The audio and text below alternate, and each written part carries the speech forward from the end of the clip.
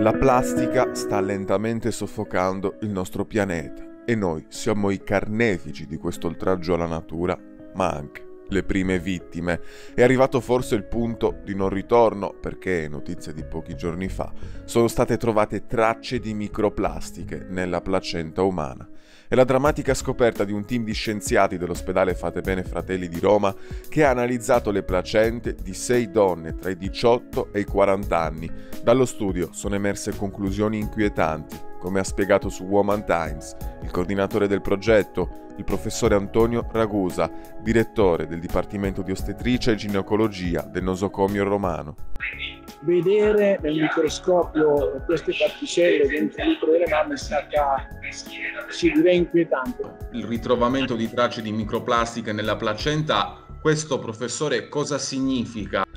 Attualmente, siccome questo è il primo report eh, del genere, questo non si sapeva, quindi apre una via di ricerca, noi non sappiamo quali sono le conseguenze a lungo termine sulla vita dei bambini.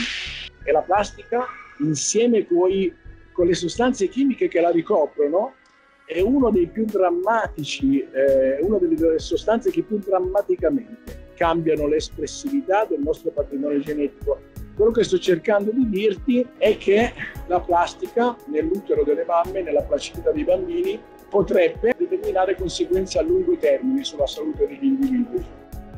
Nelle placente i ricercatori hanno trovato minuscoli pezzetti, tra cui frammenti di propilene, il materiale con cui si fabbricano le bottiglie di plastica. Dalla placenta, cuore pulsante della vita, è come se nascessero bimbi cyborg, ci ha spiegato il professor Ragusa un cyborg, per usare la pronuncia anglosassone, è un organismo metà biologico e metà sintetico.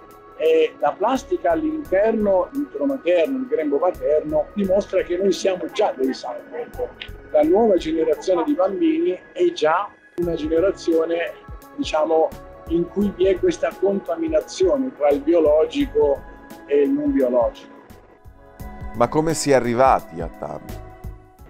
I modi in cui la plastica può entrare dentro il grembo materno sono sostanzialmente due. Uno è attraverso la via respiratoria.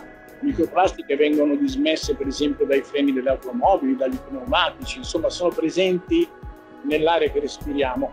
L'altro, probabilmente quantitativamente più importante, è la via alimentare, quindi attraverso gli alimenti che noi introduciamo e soprattutto l'acqua che beviamo. L'ultima inquietante scoperta degli scienziati ci insegna che non abbiamo più tempo. La transizione verso un mondo pulito e un'umanità migliore è l'unica strada da percorrere se vogliamo risalire la china dopo aver toccato il fondo. Facciamo qualcosa, non perdiamoci nella disperazione, siamo positivi, cerchiamo di combattere la microplastica nei cosmetici, la microplastica nelle bottiglie di acqua minerale, la microplastica, la plastica nel packaging, no? tutti questi pacchetti che abbiamo. Cioè dobbiamo, io penso che uno studio come questo può sensibilizzare le persone a, a premere sui politici e nessuno parla di questo, del fatto che stiamo distruggendo il pianeta, del fatto, quindi fare movimenti di pressione sui politici perché si occupino di ciò che è importante e quindi diciamo di cambiare il nostro modo, il modo che noi abbiamo di affrontare la Terra. Adesso noi pensiamo alla Terra come a una risorsa infinita, sì. ma la Terra non è una risorsa infinita e noi siamo quasi 8 miliardi di individui e dobbiamo imparare a rispettarci e a rispettarla.